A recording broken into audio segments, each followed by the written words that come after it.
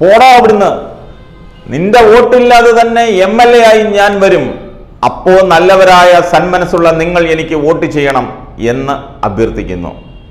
ഈരാറ്റുപേട്ടയിൽ vote ചോദിച്ചെത്തിയ P C ജോർജിനെ നാട്ടുകാർ കൂകി വിളിച്ചപ്പോൾ തിരിച്ച് ചീത്ത പറഞ്ഞ് പി സിയും. സൗകര്യം ഉണ്ടെങ്കിൽ വോട്ട് ചെയ്താൽ മതിയെന്ന് പറഞ്ഞു. ജനത്തെ വെല്ലുവിളിക്കുന്ന ഇങ്ങേരെ സമ്മതിക്കണം. ജനത്തിന് വേണ്ടെങ്കിൽ ഏതൊരു നേതാവിന്റെയും സ്ഥാനം കുപ്പത്തൊട്ടിയിലാണെന്ന തിരിച്ചറിവ് ഇത്രയും കാലത്തെ രാഷ്ട്രീയ ജീവിതത്തിൽ താങ്കൾ പഠിച്ചിട്ടില്ലെങ്കിൽ വരുന്ന തെരഞ്ഞെടുപ്പിൽ വലിയൊരു നഷ്ടം തന്നെയായിരിക്കും താങ്കൾക്ക് സംഭവിക്കാൻ പോകുന്നത്. തീക്കോയി പഞ്ചായത്തിൽ പ്രചാരണത്തിന് എത്തിയപ്പോഴായിരുന്നു നാടകീയ സംഭവങ്ങൾ അരങ്ങേറിയത്. മാധ്യമപ്രവർത്തകനായ റഹീസ് റഷീദ് സംഭവത്തിന്റെ വീഡിയോ ദൃശ്യം സമൂഹ മാധ്യമങ്ങളിൽ പങ്കുവച്ചതാണ് സംഭവം വൈറലായത്.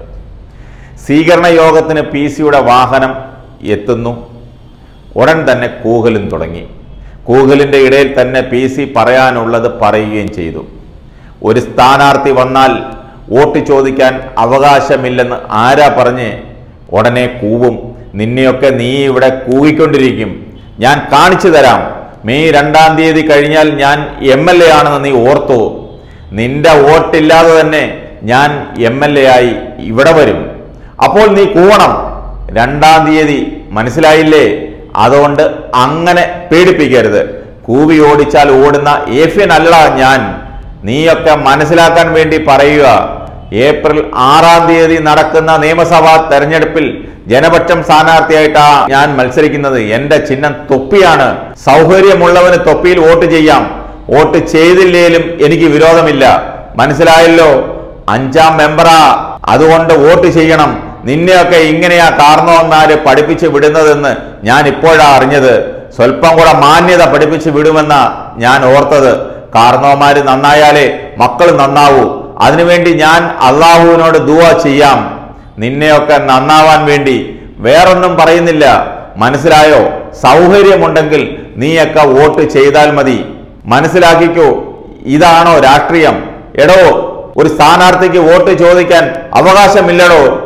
ഇലക്ഷൻ കമ്മീഷനിൽ ഒരു പരാതി കൊടുത്താൽ നീയൊക്കെ ജയിലിൽ പോയി കിടക്കും. എന്റെ മര്യാദ കൊണ്ടാ അത് ചെയ്യാത്തത്. മനസ്സിലായോ? വർത്താനം പറയുന്നു. എന്നെയാ പേടിപ്പിക്കുന്നേ? ഞാൻ ഈരാറ്റുപേട്ടയിൽ ജനിച്ചു വളർന്നവനാടാ. ഞാൻ എവിടെ പോകാനാ? ഈരാറ്റുപേട്ടയിൽ ജനിച്ചു വളർന്ന ഞാൻ എവിടെ പോകാനാടാ? ഇവിടെ തന്നെ കിടക്കും. മനസ്സിലായോ? നീയല്ല ആര് തെറി പറഞ്ഞാലും ഓടുന്നവനല്ല ഞാൻ. ആര് കൂവിയാലും ഓടുന്നവനല്ല ഞാൻ. ഇതിന് മുൻപും കൂവിയിട്ടുണ്ട്. മനസ്സിലായോ? ഇങ്ങനെ തന്നെ പോകും. മനസ്സിലായോ? പിന്നെ വർത്താനം പറയുന്നു.